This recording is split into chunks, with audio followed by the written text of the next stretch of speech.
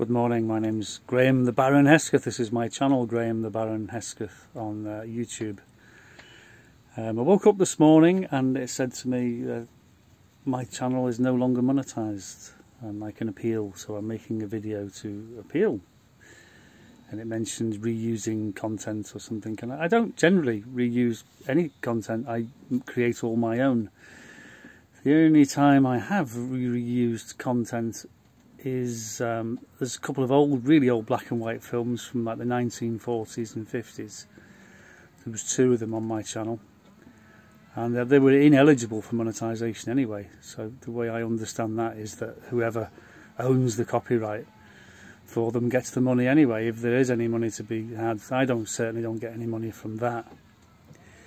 The other only other thing I can think of because I don't use other people's content. I don't use other people's content at all apart from I do make some flight simulator videos where I fly old aeroplanes in VR from like the 1940s, the 1950s and stuff like this and I'll put a bit of music in the background for, for the era from, from the aeroplane. But again it always comes up on the video. It's ineligible for monetization because you're using music.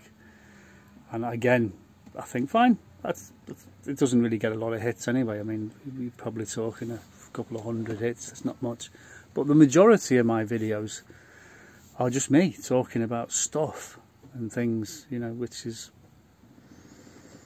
well, you'd have to look at my channel really and see what I talk about. I talk about all kinds of things, generally speaking. But uh, no, I don't. I don't generally use other people's stuff at all.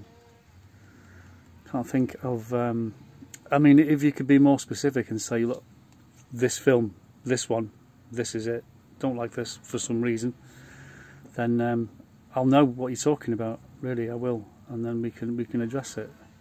And then where do we go next? What do we do? I don't know. Please explain. Help me. I don't know. Thanks for your help.